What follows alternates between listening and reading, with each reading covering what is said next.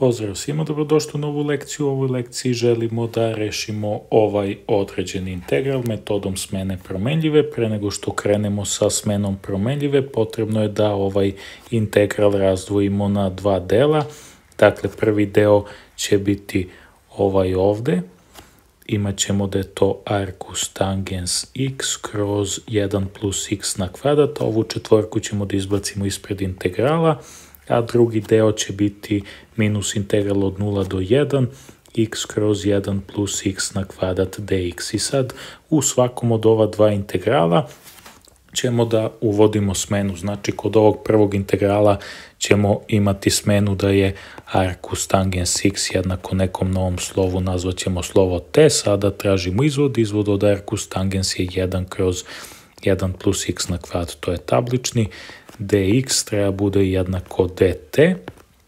a za drugi integral ćemo imati smenu da je 1 plus x na kvadrat, ajde neka bude isto jednako ovom slovu t, pri čemu ćemo imati, dakle, kad nađemo izvod od jedinice, to je 0, izvod od x na kvadrat je 2x, dakle imat ćemo da je 2x dx jednako dt, mi ovde u drugom integralu imamo x dx, tako da ćemo ovo da podelimo sa 2 i dobit ćemo da x dx jednako zapravo jedna polovina dt. I sad da vidimo kako im se menjaju granice, dakle prva, odnosno ova donja granica će biti jednaka, dobit ćemo je tako što uzmemo kod arcus tangensa, umesto x zamenimo donju granicu, odnosno 0, arcus tangens od 0 je 0, dakle donja granica će biti 0, a gornja granica će biti arcus tangens od 1, dakle ovu jedinicu ubacujemo umesto x ovde, arcus tangens od 1 je pi četvrtina, a kod ovog drugog ajmo isto da promenimo granice, dakle ubacujemo prvo ovu donju granicu umesto x, dakle bit će 1 plus 0 na kvadrat, to treba bude donja granica, odnosno donja granica će biti 1, a gornja granica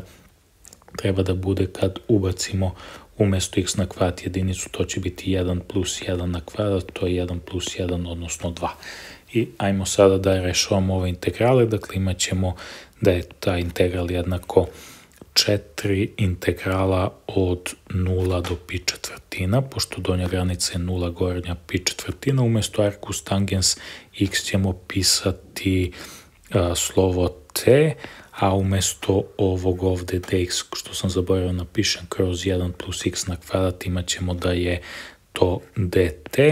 minus, sad imamo ovaj drugi integral, bit će u granicama od 1 do 2, x dx ćemo menjati sa jednom polovinom dt, a 1 e, plus x na kvadrat ćemo menjati sa t.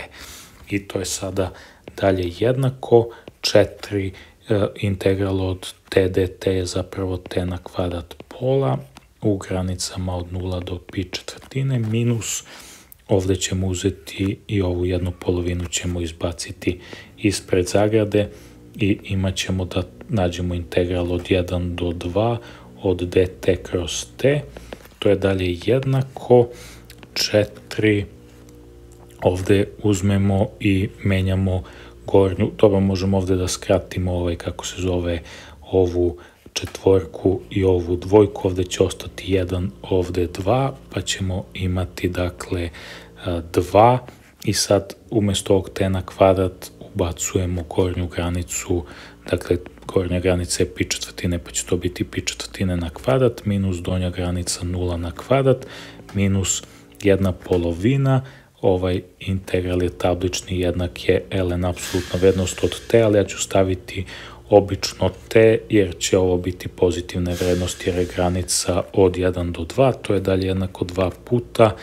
ovde ćemo imati pi na kvadrat 16, minus 0 na kvadrat, to je 0, to nećemo da prepisujemo, minus 1 polovina, sad menjamo granice, gornja granica je 2, bit će ln od 2, minus donja granica je ln od 1, to je dalje jednako, skratimo ovde 12 i 16, ovde će biti 8, dakle imat ćemo da je to pi na kvadrat 8, minus 1 polovina ln 2, a ovo ln 1 je zapravo jednako nuli, tako da to nećemo uopšte i da ubacujemo rezultat, dakle ovo će biti konačno rešenje našeg zadatka. To je to što se tiče ove lekcije, vidimo se u narednoj lekciji, pozdravi sve najbolje.